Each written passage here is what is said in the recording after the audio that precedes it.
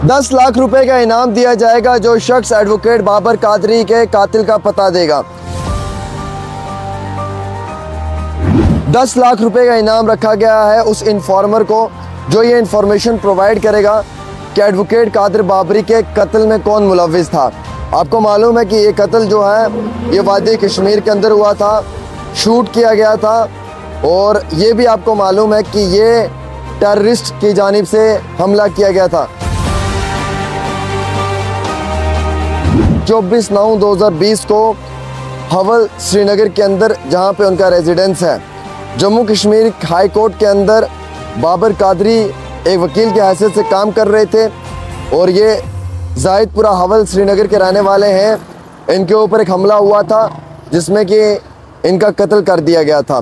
जो भी इंफॉर्मर होगा, उसकी इंफॉर्मेशन को कॉन्फिडेंशियल रखा जाएगा, किसी के साथ भी शेयर नहीं किया जाएगा। और वक्ती तौर उसे जो वो दस लाख रुपए का इनाम दिया जाएगा। मोबाइल नंबर है nine one zero three double nine eight four six seven. एक बारी फिर से, nine one zero three double nine eight four six seven. Mobile, WhatsApp, Telegram या फिर सिंगल नंबर से भी आप कॉल करके इंफॉर्मेशन दे सकते हैं। इन्फॉर्मर को जो है वो हमेशा कॉन्फिडेंशियल रखा जाएगा। उसकी इन्फॉर्मेशन किसी के साथ शेयर नहीं की जाएगी।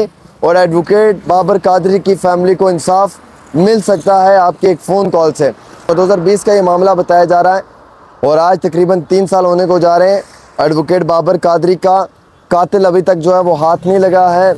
इसलिए आप एडवोकेट बाबर कादरी के कातिल को जो है वो वक्ती तौर सलाखों के पीछे धकेल सकते हैं, अगरचे आप ये इन्फॉर्मेशन इनके प्रोवाइड कर दें। मैं तमाम नाजरन कराम से गुजारिश करूँगा इस वीडियो को ज़्यादा से ज़्यादा शेयर करें। और एडवोकेट बाबर कादरी की फैमिली को जस्टिस मिलना चाहिए। इसलिए इस वीडियो पे अपना कमेंट करके अपनी राय भी दें। पेशे से तो ये एक वकील थे और एक काबिल तारीफ़ इंसान भी थे और काफ़ी अच्छे इंसान थे और इनके ऊपर जो ये हमला हुआ जिसमें इनके ऊपर गोलियाँ चलाई गई और जिसके एवज में इनका इंतकाल हो गया, उसके बाद इनके अफराद खाना बहुत मुश्किल के अंदर अपनी ज़िंदगी जी रहे थे। और आज भी इनके अफराद खाना बहुत तकलीफ़ में है, बहुत परेशानी में है, तीन साल हो चुका है, इंसाफ नहीं मिला है। इंसाफ के लिए आवाज़ बुलंद की जा रही है। नाजरन कराम, जो भी शख्स की इंफॉर्मेशन देगा, जो कातिल है, जो इसमें मुलविस है, जो मुजरम है, उसे तकरीबन दस लाख रुपए का इनाम दिया जाएगा और उसकी इंफॉर्मेशन को जो है, वो कॉन्फिडेंस में रखा जाएगा। बिल्कुल भी उसकी इंफॉर्मेशन किसी को नहीं दी जाएगी। जम्मू कश्मीर पुलिस ने हमेशा बेहतरीन और उमदा काम किया है, लेकिन अब S I A state investigation agency भी जो है, वो लगातार इस मामले में सख्ती के साथ रवैया अख्तियार कर रही है।